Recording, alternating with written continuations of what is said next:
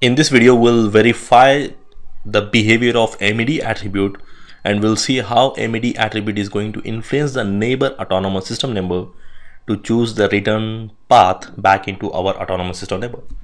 Now to verify this lab, I already have some routers pre-configured here. You can see I got router 1, router 2, router 3, router 4. Router 1 is in AS600, 500 and router 4 is in autonomous system 700 and these two routers belongs to AS600. So the first thing I'll quickly give some a basic idea on what exactly we are going to do in this lab. In this lab, the first thing what we are going to do is we are going to configure the basic IBGP and EBGP peerings. That's the first step. And this is something pre-configured in my lab, which means I'm not going to configure them again. It is pre-configured. So you can re refer my workbook in that you already have the pre-configuration. So even you are very much aware of how to configure the basic IBGP and EBGP. Now second thing, we are also modifying the next hop self configurations. Like here you can see by default whenever any update comes from this side, when it is going to send to internal BGP neighbor, it's not going to change the next hop.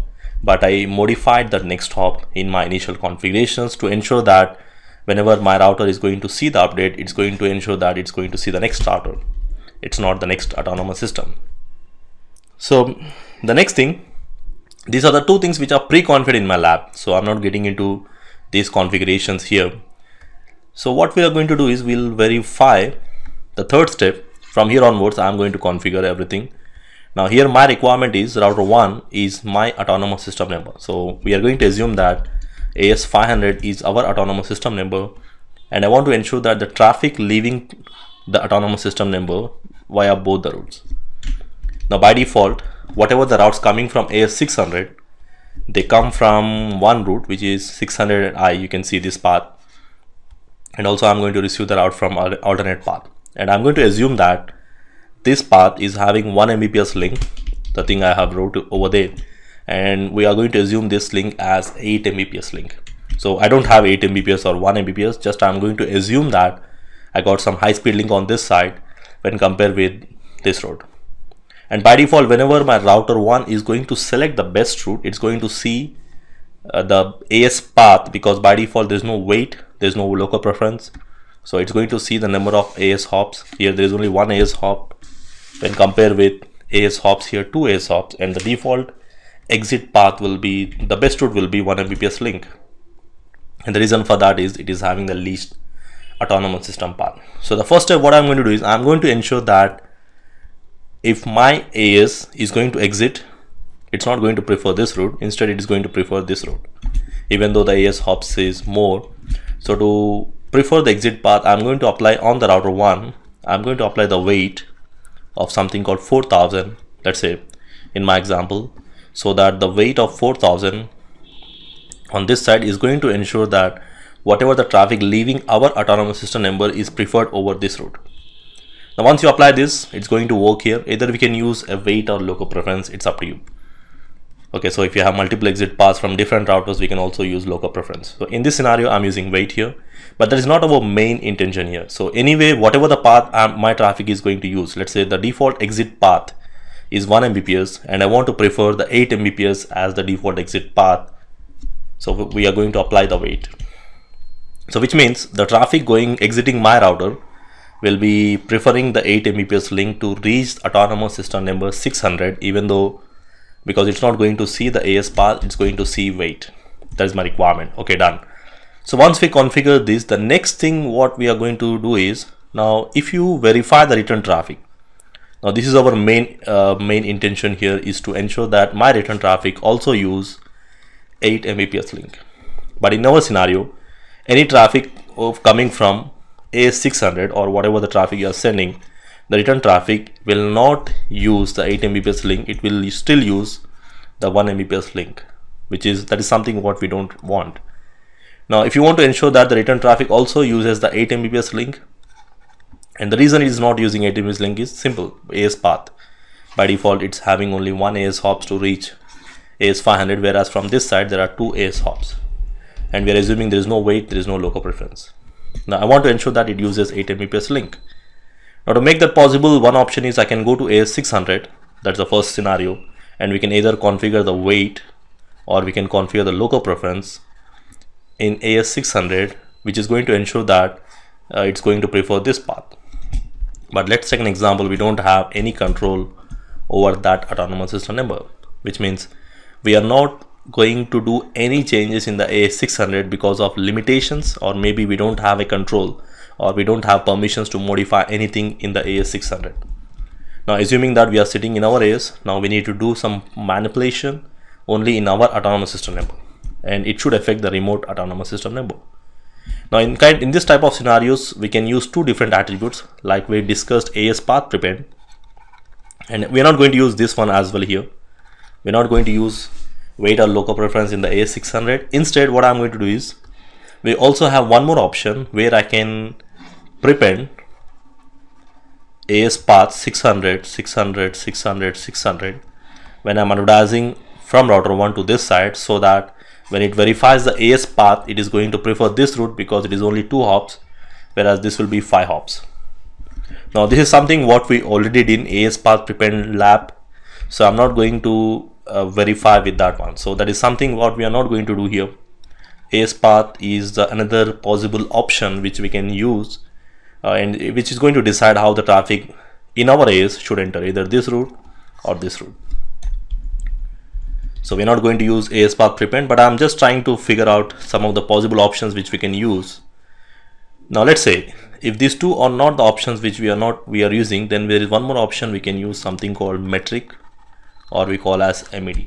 So in this case, we are going to use MED attribute and we'll see how we can impact the traffic, how we can impact the other autonomous system number for the traffic entering into our AS. So this is the main uh, lab which we are going to do. So all these things we are going to configure anyway, but in this, these two things are pre-configured in my lab. So the first thing will verify the initial configs what I already have. So let's try to get into that so already have some routers pre-configured here. So i'll go to router 1 and i'll slowly verify one by one. So let's start with router 1 show run section bgp on router 1 you can see router 1 is configured with two neighbor commands and all the network commands are configured. So these are the initial configs which is already there. And on the router 2 also we have initial configs.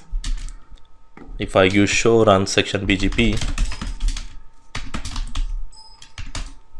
router 2 configurations. Meantime we'll also type the command on router 3 and router 4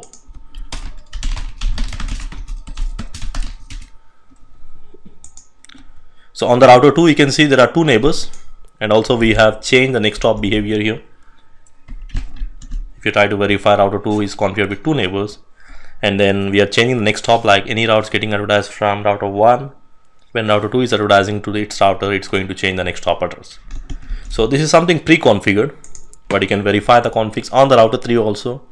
We got two neighbor commands and one next hop self command because the route's coming from router 4 and router 3 when it is advertising to internal neighbors it's not going to change the next hop but we can change the next hop by using next hop self address.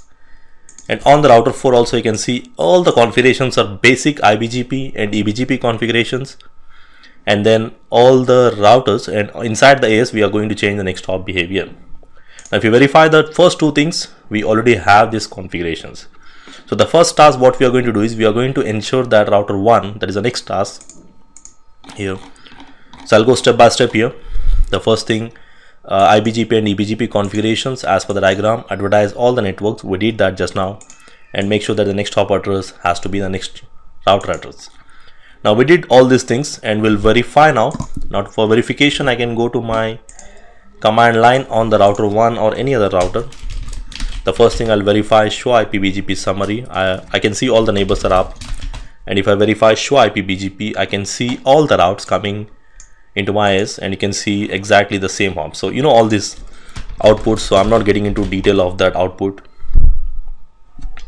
And I'll verify on the router 3 as well show IP BGP summary, two neighbors, and if I remove the summary, I can see all the routes getting advertised. So these are all the basic configurations, you already know that, but our main intention is to ensure that the return traffic, the fourth step. For the fourth step, the first three steps are the pre-configurations which we require for verifying.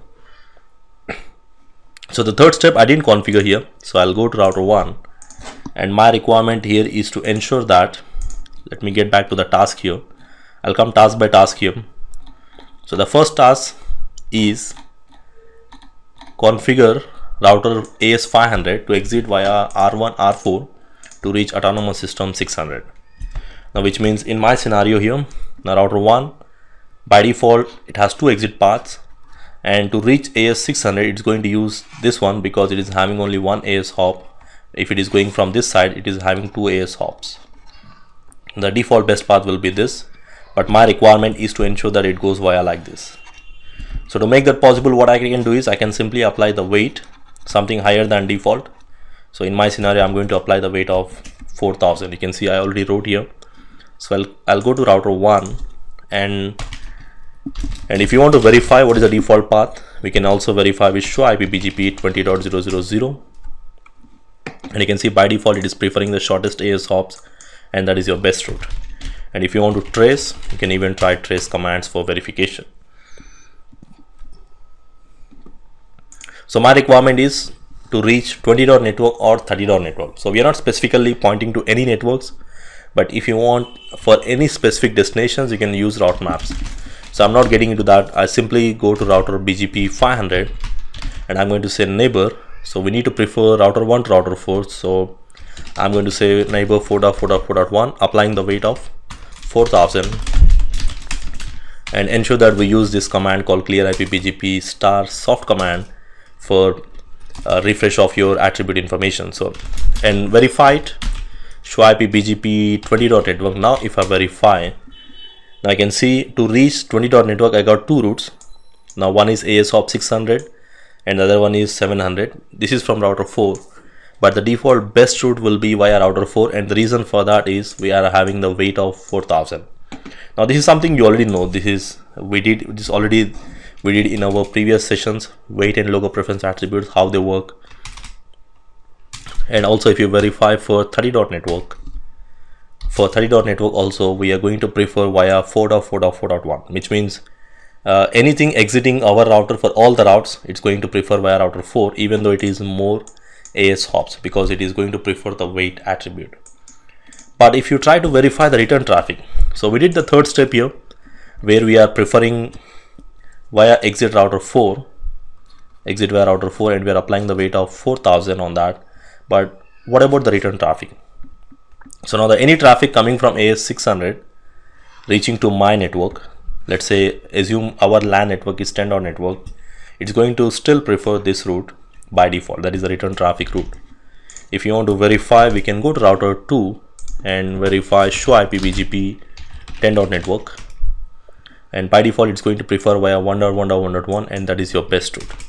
Even if you go and check the router 3 which is the other router in the AS600 for 10 dot network it's preferring via the best route is preferred via 2.2.2.1 which means in our case it is router 2 and router 2 is trending to router 1 so if you want to trace you can try trace. First it goes to router 2 and then reaches the router 1 but return traffic is uh, preferred via 1 mbps link which i really don't want. So my requirement is to ensure that the return traffic coming from AS600 also should prefer 8 mbps link. Now to do that, the first option we can manipulate the AS path, sorry, uh, we can we can add some local preference inside the AS600 and we can increase the local preference on this router so that it prefers this route.